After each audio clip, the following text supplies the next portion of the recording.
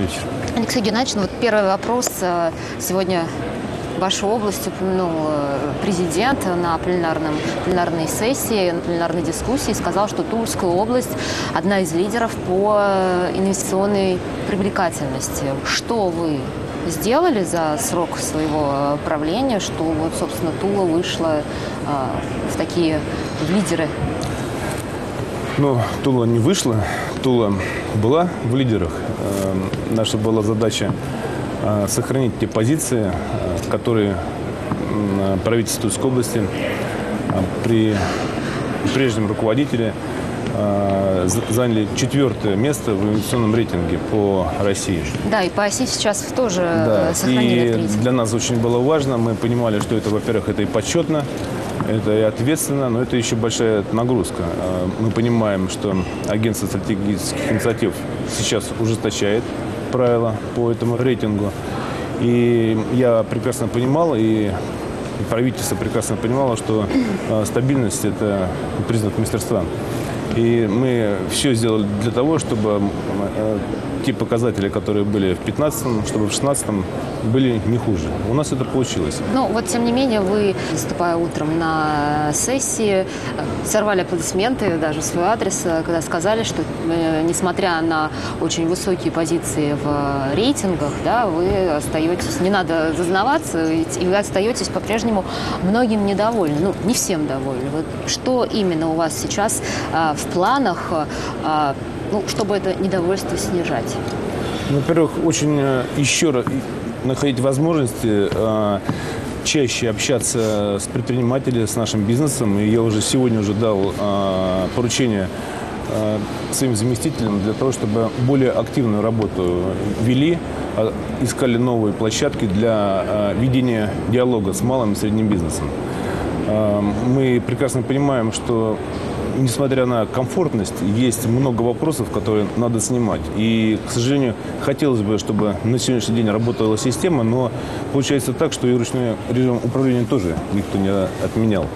И есть вопросы, которые я даю поручение своим профильным министрам и замам, чтобы э, те вещи, которые возникали процессе от начала подачи заявки и до реализации проекта, чтобы они, они сопровождались в ручном режиме. Ну, я вам скажу честно, что когда в регион приходит крупный инвестор, я лично беру его на контроль и смотрю все процессы прохода его э, от регистрации до выхода на площадку, смотрю тоже лично и контролирую, чтобы снимать в ручном режиме все барьеры, которые угу. могут быть. И, Нет, ну, и правильно, это, прежде всего доходы да. регионального Конечно. Мы, мы заинтересованы, мы этого не стесняемся, и мы, наоборот, Э, говорим, что для нас, что э, зарубежный э, инвестор, что наш инвестор, для нас разницы нет. Мы открыты и к диалогу с зарубежными партнерами, с партнерами и, конечно, с нашими партнерами, которые приходят и развивают свой бизнес. Для нас это важно. Тем более в условиях жесткой и очень жесткой конкуренции. конкуренции.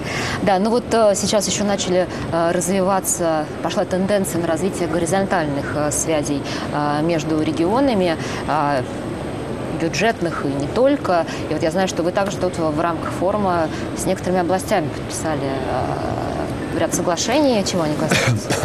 Ну, Тульская область – это область, которая она граничит с пятью областями. У нас э, тесное взаимодействие со всеми нашими соседями. Во-первых, первое соглашение – это с Татарстаном. Это один из лидеров наших э, регионов.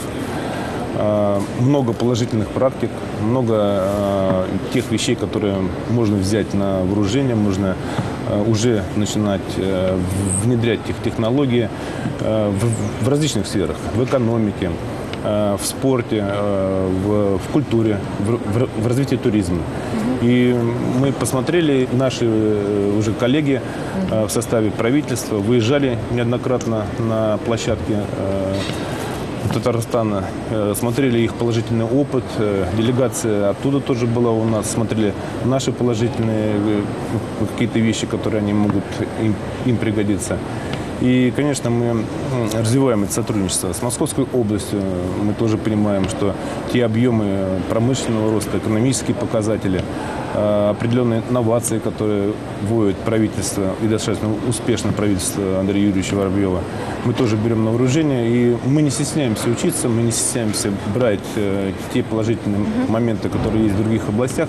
И со, со своей стороны мы тоже открыты, чтобы показать, нам есть тоже чем гордиться, у нас есть тоже чему поучиться, поэтому это, я, я считаю, правильно. И чем больше мы будем эти связи по горизонтали развивать, тем мы будем э, сплоченнее, тем экономика будет э, улучшаться и, и показатели будут расти по всем направлениям. А если говорить о, о том, э, чем можно гордиться, ну, вот в частности, в Туле есть Ясная Поляна, и вообще сейчас э, Тульская область пытается развивать э, свой туризм. Я знаю, что вы даже ввели э, новый бренд «Мастерская России». Вот подробнее про это расскажите. Вы знаете, мы его не вели, мы сейчас в процессе. Тула – оружейная столица. Это факт. Это факт, который сложился исторически. Но Тула – это еще и крупнейшая металлургия.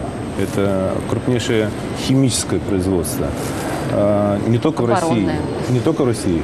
Ну, давайте я про оборону чуть позже. Не только в России, но и в Центральной Европе. Это мощнейший оборонно-промышленный комплекс. И мы прекрасно понимаем, что быть столицей оружия – это почетно. Это история, и никто с этим не спорит.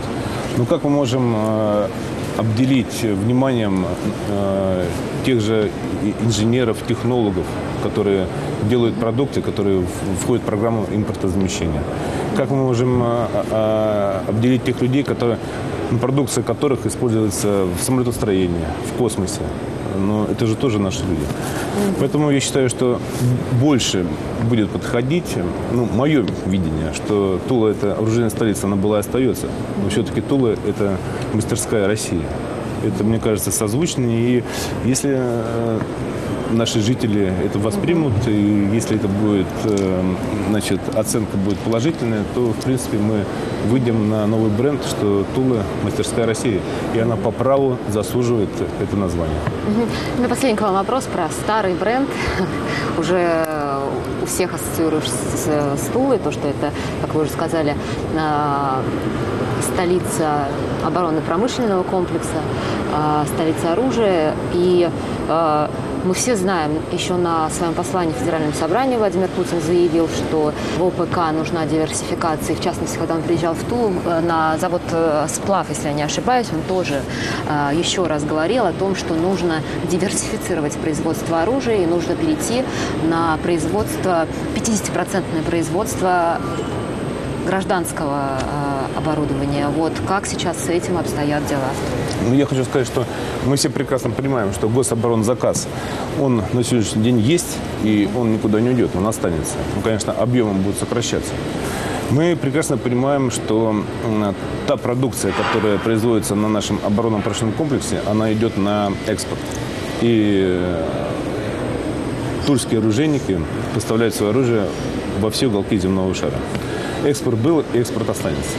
Мы должны уже готовиться и уже думать о завтрашнем дне э, для того, чтобы часть оборонно-промышленного комплекса уже начала э, производство гражданской продукции. Эту работу мы уже начали. Во-первых, э, создано специальное бюро, которое сейчас рассматривает. Она, туда входят наши конструкторы, инженеры военного промышленного комплекса, которые смотрят на шаг вперед и изучают ли- линейку, э, что необходимо, что может быть востребовано. Сейчас наше крупнейшее оборонно-промышленное предприятие «Сплав» э, КБП имени Шипунова э, уже начало производство современных медицинских высокотехнологических робототизированных комплексов, а, например, как «Ангел». То есть это увязывается в современную медицину, телемедицину. Это современнейшее оборудование. Есть ряд еще медицинской техники. Э, Кстати, у нас э, была конференция, посвящена этому, приезжала Рогозин, и мы выставляли то, что производят наши тулики. Другое оборонное, оборонное предприятие выпускает э, дизели гражданской продукции, которые используются как в Министерстве обороны, как и в, и в МЧС. Э, Есть ряд э, гражданской продукции, которая связана со спасательной техникой. Ну и э, ряд еще есть продукции, которые используются в сельском хозяйстве. Поэтому э, надо включать мозги, надо уже, уже сейчас думать. Тула э, – это город э, сильных и, и- и талантливых людей, и мы прекрасно понимаем, что с этой задачей мы справимся. Это достаточно такой комплексный вопрос. Он непростой, хочу сказать сразу. Он э, требует и модернизации линий производства, определенных, определенных вложений. Но наши конструкторы об этом знают, и мы уже смотрим на шаг вперед. Этой работой сейчас занимаемся. Итоговый вопрос, э, традиционный, э, естественно, здесь, на Питерском форуме. А Какие заключили соглашения, на какие суммы? По итогам работы форума мы на полтора-два миллиарда мы превысим показатели прошлого экономического форума в Санкт-Петербурге. Э, Были сделаны крупные э, соглашения с компанией Еврохим, крупнейшим нашим холдингом химическим, э, на 28 миллиардов рублей. И что приятно, что в, партнерами Еврохима явил- явилась крупнейшая химическая компания с Китая. Сумма вл- вложенных инвестиций 28 миллиардов рублей. Это совершенно новое производство, где будут новые рабочие места и где будет новый налоговые поступления. Мы это прекрасно понимаем. Значит, э, крупнейший контракт э, э, с металлургической компанией. Расширенная линейка производства, новое сталь-прокатное производство, которое повлечет за собой тоже образование новых рабочих мест. И мы прекрасно понимаем, что и определенный посыл в экономических показателях. Ну и будут созданы, ну, ну, придут новые резиденты в особую экономическую зону, будет создано три, три предприятия по тоже химическому, химическому производству. Ну и ряд еще компаний, которые делают модернизацию и открывают свой бизнес на, на территории Тульской области. Поэтому я считаю, что э, мероприятия форума э, «Два дня», которые мы проработали, они достаточно успешные и за собой принесут определенные вещи, которые позитивно будут ложиться на наш регион э, во, всех сферах. И самое главное, все здесь нацелено для привлечения инвесторов, для того, чтобы деньги пошли в регион и условия жизни наших граждан, качество жизни улучшалось. Мы для этого все делаем и стараемся. Ну, я поздравляю тогда вас с тем, что успешно для Тульской области прошел этот Спасибо форум. большое.